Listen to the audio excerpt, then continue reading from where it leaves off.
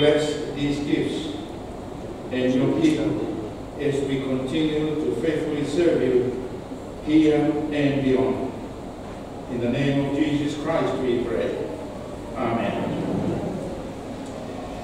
And I invite you to stand for the singing of the Pilgrim Song and remain standing for the commissioning and blessing.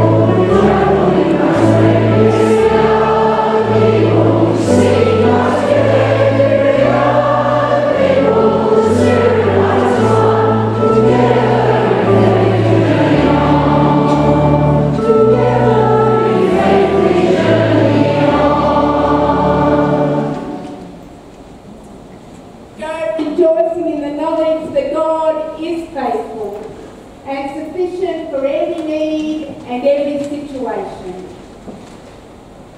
God who created you, recreate you in you a joyous heart. Jesus who redeemed you, enable growth in grace, and the Spirit who strengthens you, give power for daily living. Amen. Put